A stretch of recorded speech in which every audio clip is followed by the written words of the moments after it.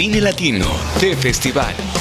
Continuamos con más de cine latino de festival. Nos encontramos pues al lado del Teatro Kodak. Pues es un museo de cera donde uno puede estar, digamos, interactuando un poco con los grandes personajes de la industria cinematográfica de Hollywood y también con los latinos. Por aquí está Penélope Cruz y ni más ni menos que Salma Hayek, esa actriz mexicana. Bueno, pues ahí está presente. Cine latino de festival. Estamos aquí con Salma Hayek, muy caracterizada de Frida. ¿Qué dijeron? ¿Asistió a esta edición? Pues no. Nosotros continuamos en el Museo Madame Tussauds. Tenemos a Ángel. ¿Cómo estás, Ángel? Bien, bien, ¿y usted?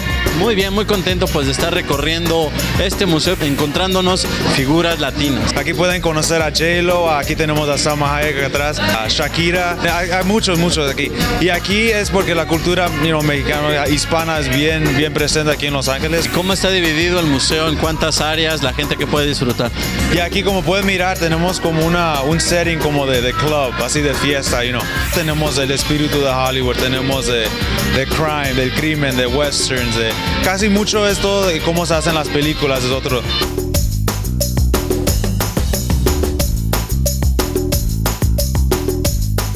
Oye, sin duda, de los latinos, ¿a quién es a la que más buscan para tomarse fotos aquí?